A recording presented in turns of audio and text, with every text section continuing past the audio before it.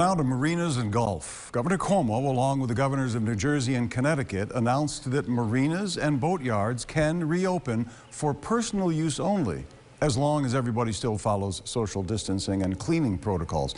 Chartered watercraft services or rentals will not be allowed. Uh, Governor Cuomo also says he will now allow private golf courses to open across the state. That means people who own their own golf course. But the owners must ban all gatherings and continue to make sure golfers stay six feet apart and no carts either.